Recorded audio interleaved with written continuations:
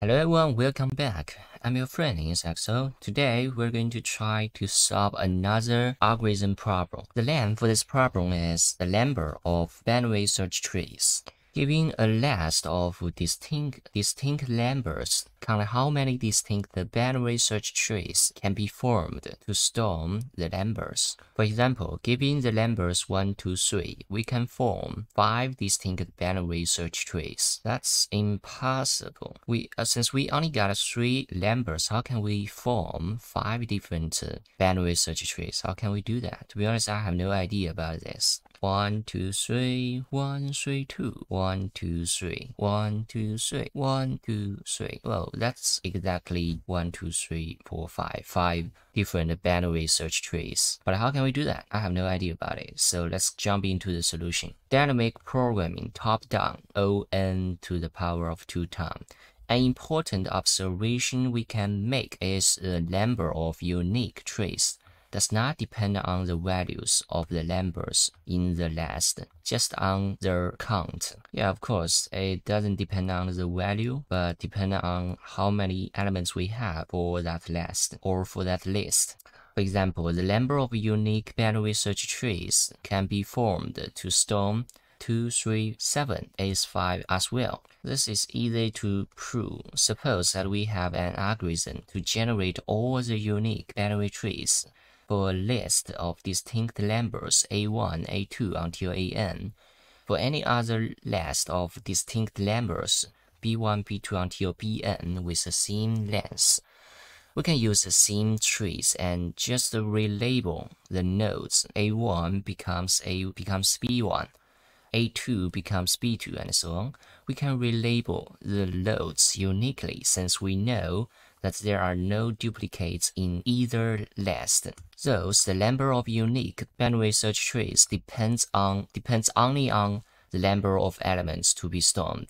A second observation that we can make is that we can split the split. Some people would call it that. Split.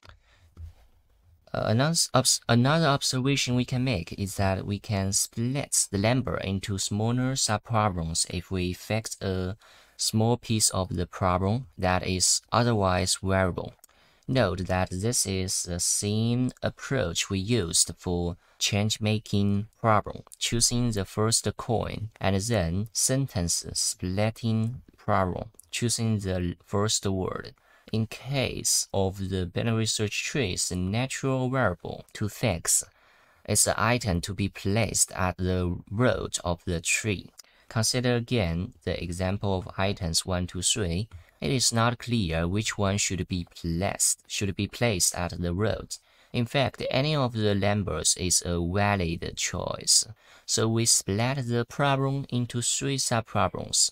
A subproblem where 1 is, pla is placed at, at the root, a subproblem where 2 is placed at the root, a subproblem where 3 is placed at the root.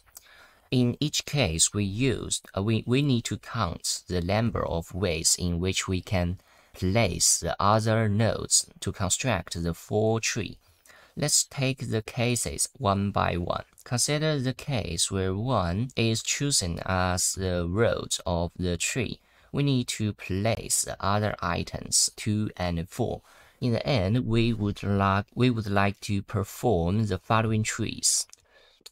Um, you may just uh, thinking like me. Yeah, you will think why he always put the two and three on the right side of the root node one. Yeah, so that that's um that's not right. Sometimes if it's not a strictly binary search tree, balanced tree, then uh, the 2 and 3 could be on the right side of it. it. Can be in here, can be in here, something like that. But since they are strictly unique binary search trees, and for this tree, it has an feature, which is the right side node would always greater or equal to the left side node. From here, we could know that the binary search tree, also called an ordered or sorted binary tree, it is a rooted binary tree data structure whose internal nodes each store a key greater than all the keys in the node's left subtree and less than those in its right subtree.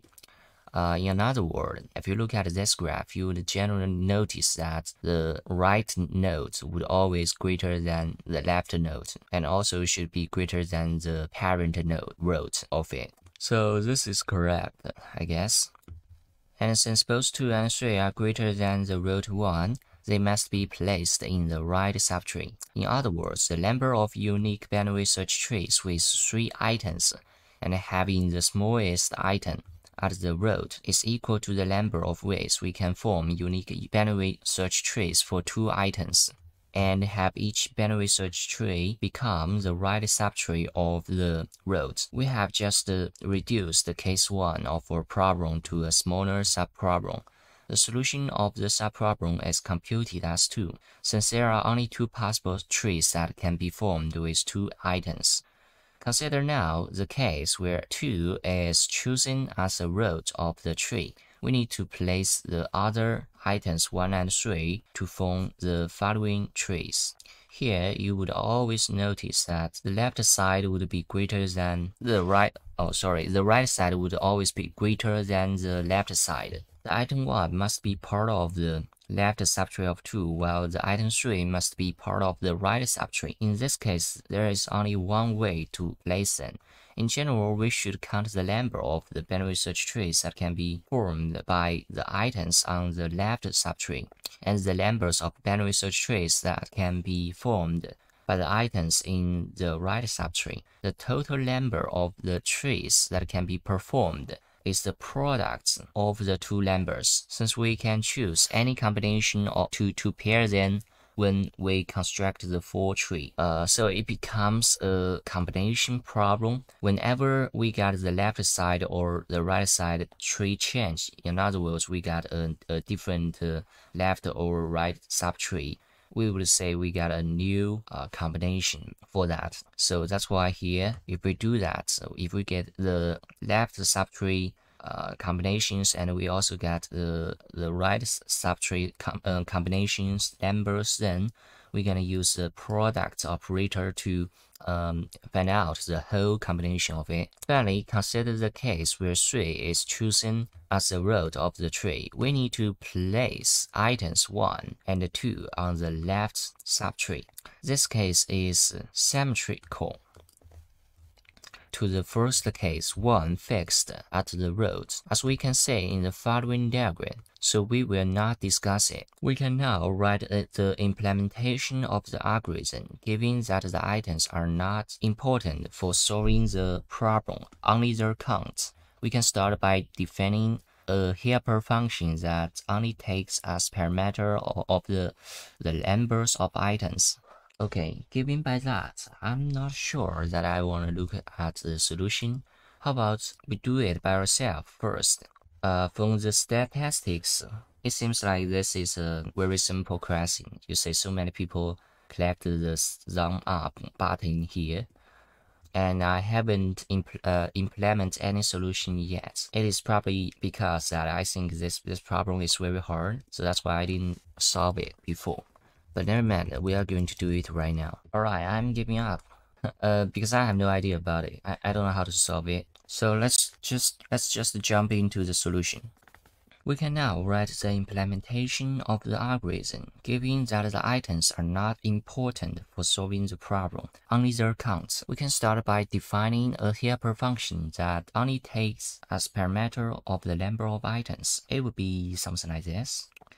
And in the end, our helper function would only take the length of that uh, last we give it to that that we give to him give to it. The helper function should return one if the number of items is one. Otherwise, it should comp compute how many trees can be formed by placing at the root one of the items, then return the sum of all these numbers. Helper function. This is a this is an integer. A single item can be placed in a binary search tree in exactly one way because only we because we only got one item, and for one item we can only form one binary search tree. No items from an empty tree, which is also unique. So if the number of items less or equal than 1, we will just return 1. And at the beginning, we get the result of 0.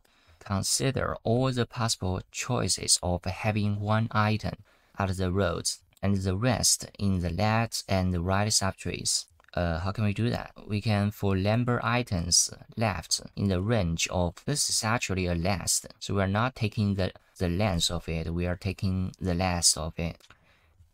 Anyway, we did an iteration for number items left in that range. We will iterate all those elements inside of that. The number of binary search tree in the left would be equal to the helper function of this number and the number items right equal to the whole numbers minus 1 and also gonna minus the items left which is this number and also we could get the right side span with search trees number by using the helper function. In the end we're gonna combine combine the results by do the product of the by getting by getting the product of left side binary search tree numbers and the right side binary search tree numbers and we're gonna add that to the results. Since we are using the iteration, so we could, uh, say, get every level of that uh, binary tree. It could be started from zero level or start from the one, which uh, in that case, we only got two nodes, or start with three. If we start with three, that would be something like this.